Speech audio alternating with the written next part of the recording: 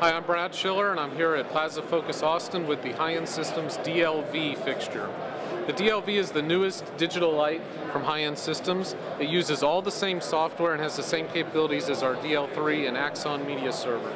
So it's able to do the collage, generator, um, curved surface support. It has 1,400 pieces of stock content it comes with, and you can load your own content. It has multiple layers, keystone correction, etc., etc. This is a newer, smaller digital light. It's smaller in size, smaller in output, and smaller in price. So it actually has, as you can see, it's a smaller package. It has about 4,000 lumens of output, very bright, colorful uh, video projection. It also on the front here has the indigo highlighter to give you an additional point of source. We see this marketed for clubs and small theaters and maybe corporate breakout rooms, things of that nature.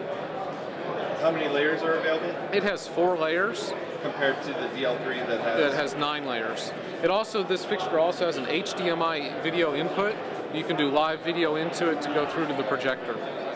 The DLV is shipping at the, uh, this month. It's already shipping, and it uh, retails for about $15,000.